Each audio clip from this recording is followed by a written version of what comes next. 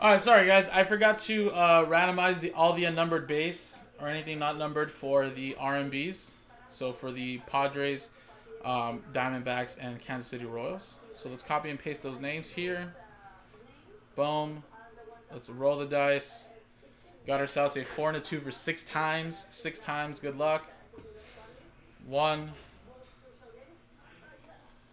two, three, four, five, six.